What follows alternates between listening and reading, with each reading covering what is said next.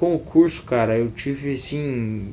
Foi a mais que eu esperava. Eu tava até com certo medo, eu admito. É, por, por o seguinte, por ser um curso online e tudo mais, eu, né, porque geralmente as coisas tem que ser mais na prática, mas não. Cara, é, a injeção eletrônica hoje se tornou muito mais fácil. Depois do treinamento, hoje é muito mais fácil fazer um diagnóstico. Onde eu tinha medo, hoje eu tenho uma certeza. E vamos dizer assim, na nossa área existe muito trocador de peças. Hoje eu posso me considerar uma pessoa que sei fazer sem trocar uma peça, sei achar o defeito sem ter que trocar uma peça, às vezes sem necessidade, fazendo meu cliente gastar, fazendo meu cliente perder a confiança em mim.